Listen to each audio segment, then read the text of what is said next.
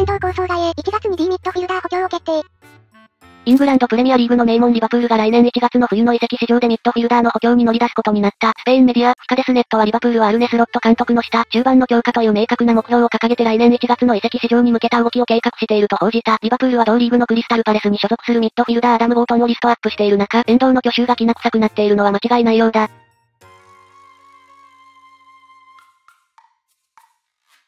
こうなるよね。でも日本人というひいき目なしに本当によくやってくれたと思う。もともとつなぎの役割というのはチームもファンも、そして遠藤自身も知っていたことだろうこと。現状でこれなんだから冬に補強したらベンチに入ることすらできなく可能性もある。スロットが全く使う気がないのなら移籍も考えた方がいい。年齢的にも次の選択肢は重要になるしね。まるで新事実のように言ってるが、最初から決まっていたこと、遠藤が来る前から探しているし、年齢も考えれば獲得した後もスカウティングは続けている。それだけのこと、そんなことで競争から逃げるような男じゃない。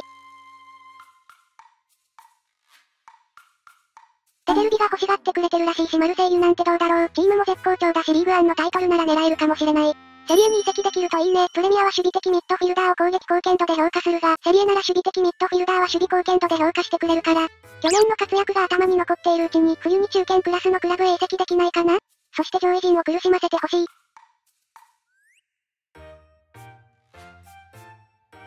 浦和に戻ってきてくれ。